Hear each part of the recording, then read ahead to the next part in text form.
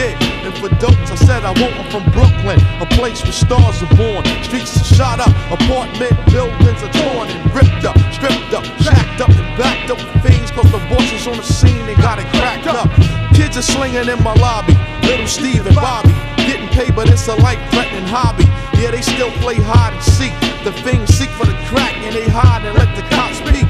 Grown folks say they should be out on their own before the gangs come and mom's home because their lifestyle is hectic, so fucking hectic. Bow, bow, bow, bullets are ejected. My lifestyle was so far from well. Could've wrote a book with a title, age 12 and going through hell. Then I realized the plan. I'm trapped in a deadly video game with just one man. So I don't only watch my back, I watch my front. Cause it's the niggas who front, they be stunts. Back on the Ave, up Livonia in Bristol with a pistol. Sticking up Pamela and Crystal. You know your town is dangerous when you see the strangers. Kid come home from doing the bit, nothing changes. What is the meaning of crime? Is it criminals robbing innocent motherfuckers every time? Little shorties take walks to the schoolyard, trying to solve the puzzles to why is life so hard.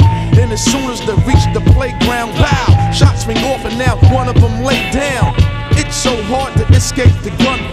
I wish I could rule it out like an umpire. But it's an everlasting game and it never ceased to exist, only the players change. So I got your back, but your best to watch your front. Cause it's the niggas who front, they pulling stunts. I got your back,